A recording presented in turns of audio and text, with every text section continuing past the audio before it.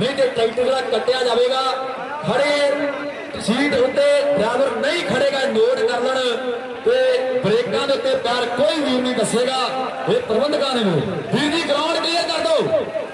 ਚੰਦਰਵੀਰ ground ਵੀ ਸੁੰਦਰ ਦੇ ਲੋਕ ਹੈ ਨੇ, ਕੱਲੇ ਦੇ ਹੈ ਨੇ। ਬਸ ਸਿਰਫ ਤੇ ਸਿਰਫ ਰੱਸੀਆਂ ਨੂੰ ਬੰਦਾ ਬਾਹਰ ਹੋ ਜਾ, ਹੈਪੀ ਗੱਲ ਇਦਾਂ ਨਹੀਂ ਮੰਨੀ, ਮੈਂ ਤੂੰ ਵੀ ਫੜ ਲਾ। ਇਹ ਲੀਡ ਵਾਲਾ ਫੜ ਲਾ, ਕੋਈ ਗੱਲ ਨਹੀਂ, ਹੈਪੀ ਦੇ ਪਟਾਕੇ ਵੱਖਰੇ ਪਾਉਂਦਾ ਵੀ ਗੱਲ ਵੱਖਰੀ ਹੋਵੇਗੀ।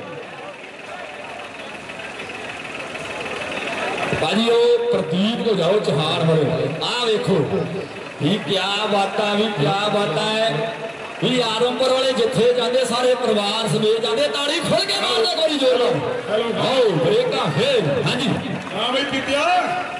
ਕੀਤਾ ਸਾਡਾ ਵੀਰ ਬਲਦਾਂ ਵਾਲਾ ਸ਼ਕੀਨ ਹੈ ਵੀ ਜੱਟ ਪਹੁੰਚਾ। ਆ ਵੀਰੇ, ਮਰਜ਼ੀ ਆ ਮਰਜ਼ੀ ਆਵਾਜ਼ ਖੋਲਦੀ ਹੋਰ।